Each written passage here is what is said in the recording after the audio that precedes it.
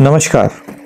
आज का ये वीडियो, आज का ये सेशन देश के उन वीर नौजवानों के नाम जो सरहदों पे बैठे हुए दिन रात हमारी रक्षा कर रहे हैं, तभी हम चैन से सो पाते हैं। इस वीडियो की शुरुआत करने से पहले दो पंक्तियाँ उन वीर नौजवानों के नाम किसी ने खूब लिखा है कि देश के शहीदों का जर्रे जर्रे पे खून बिखरा है, पर्च में हिंद तब कहीं जाकर तेरे चेहरे का रंग निखरा है। मौत की मंडियों में जा जाकर वीरों ने गर्दनें दी हैं। वतन ने जब भी एक सर मांगा, वीरों ने भर भर के जोलियाँ दी हैं।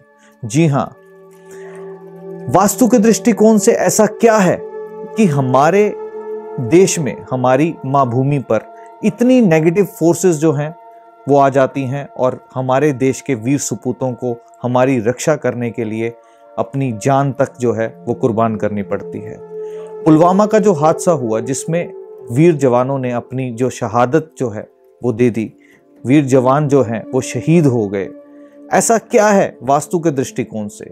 वास्तु के दृष्टिकोण से यदि इसको समझने की कोशिश करें तो हमारा देश, यानी कि भारतवर्ष, इसका जो केंद्र बिंदु है, यानी कि दिल्ली में जो बैठी हुई सरकार, वो कहाँ है? दिल्ली में। दिल्ली, यानी कि केंद्र बिंदु और जब हम बात करते हैं किसी भी भवन की, किसी भी देश की, किसी भी जगह की तो सबसे पहले हम बात करते हैं उस जगह की, उस देश की, उस भवन के ब्रह्मस्थान की। ब्रह्मस्थान कहा गया शरीर का वो हिस्सा जो कि हमारे शरीर को जोड़ता है। कैसे जोड़ता है? हमारे शरीर के अंदर जो बहत्तर हज़ार से ज़्यादा जो नाड़ियाँ हैं, उनका एक इंटरसेक्टिंग पॉइंट उनका एक जो जंक्शन है वो हमारी नाभि बनती है। यानी कि नाभि के द्वारा हमारे शरीर के विभिन्न अंग, जहाँ पर वेन्स जो हैं, वो ब्लड सप्लाई के थ्रू न्यूट्रिएंट्स जो हैं, जो मिनरल्स जो हैं, जो विटामिन हैं, वो हमारे शरीर के अलग अलग अंगों तक पहुंचाती है। इसका मतलब जो ब्रह्म स्थान है, वो एक मेजर भूमिका निभाता है। ठीक उसी तरह से हमारे देश के सभी फैसले जो हैं, वो राजधानी दिल्ली में लिए जाते हैं।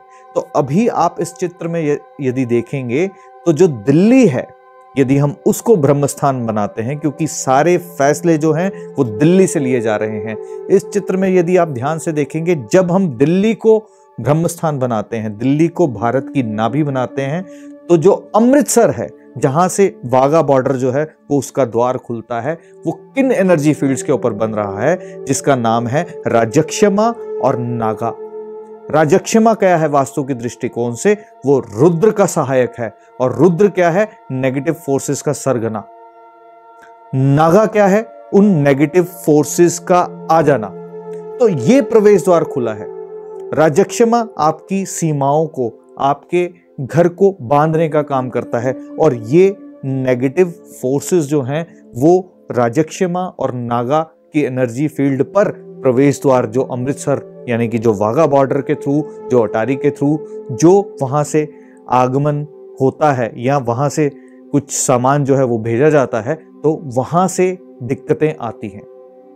वास्तु के दृष्टिकोण से ये बहुत अहम है, जब भी कोई प्रवेश द्वार, क्योंकि प्रवेश द्वार हमारे शरीर में, जैसे पाँच इंद्रियों के माध्यम से हमारा जो मुँह है, हमारा जो नाक है, हमारे जो कान है, हमारी जो आँखें हैं, हमारी जो त्वचा है, ये हमारे शरीर के प्रवेश द्वार हैं। ठीक उसी तरह से हमारे देश का प्रवेश द्वार, जो आप अभी इस पिक्चर में देख रहे हैं, ये एग्जैक्टली exactly हमारे देश के अंदर, हमारी सरहदों के अंदर इतनी नेगेटिव फोर्सेस आने का जो मेजर रीजन है, वो ये रुद्रा और नागा की साथ राजक्षमा का मिल जाना उन एनर्जी फील्ड्स के ऊपर एक प्रवेश द्वार खुल जाना जिसके कारण से ये हो रहा है।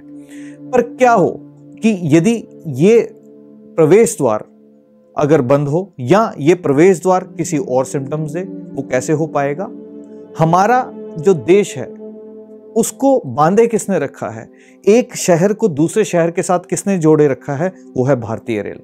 ये ठीक भारतीय रेल वैसा काम कर रही है जिस तरह से हमारे शरीर के अंदर जो नाड़ियाँ हैं, बहत्तर हज़ार से ज़्यादा, हमारे अलग अलग अंगों तक वो खाद्य पदार्थ जो हम खा रहे हैं, उसके विटामिन मिनरल्स हमारे शरीर तक जैसे ले जा रही है, वही काम हमारी भारतीय रेल करती है। और ये भारतीय रेल का मध्य पार्ट जो है, जो नाभि, जो इसका ब्रह्म स्थान बनता है, वो बनता है नागपुर में। ये जो आप चित्र में डबल डायमंड क्रॉसिंग देख रहे हैं, ये नागपुर में स्थित है। तो ये एक ऐसी जगह है जहाँ से ईस्ट की ओर, वेस्ट की ओर, नॉर्थ की ओर और साउथ की ओर, ये चारों दिशाओं में जो है, वो ट्रेन जो है, वो निकलती है। तो इसका अर्थ ये है कि भारतीय भूमि का जो नाभि है, भारतीय भूमि का जो ब्रह्म स्थान है, वो नागपुर यदि हो, अब मैं ये नहीं कह रहा यहाँ पे कि हम दिल्ली जो है, वो शिफ्ट कर दें नागपुर में, पर क्या ऐसा मुमकिन है कि जो सरकार दिल्ली में बैठी है, वो दिल्ली में बैठ के जो फैसले ले रही है, एक एक ऑफ़िस जो है, वो नागपुर में बना दिया जाए और नागपुर से वो ऑर्डर्स जो है वो निकले। यदि ऐसा हो जाता है तो हमारी जो नाभि है, वो ऑटोमेटिकली शिफ्ट होके नागपुर में आ जाएगी। और जब नागपुर में आ जाएगी तो आप इस चित्र में देखेंगे तो जो अमृतसर का बॉर्डर अमृतसर की जो वाघा बॉर्डर है, जो प्रवेश द्वार राजक्षमा नागा की एनर्जी फ़ील्ड पे खुल रहा था, जिससे हमारे देश के अंदर आतंकवाद, हमारे देश के अंदर जो नशा के शिकार शिकार हो रहे हैं हमारे देश के अंदर युवा, या जो भी नेगेटिव ताकतें हैं, वो इसी प्रवेश द्वार के कारण, खुलने के कारण से हमारे देश के अंदर आ रही हैं।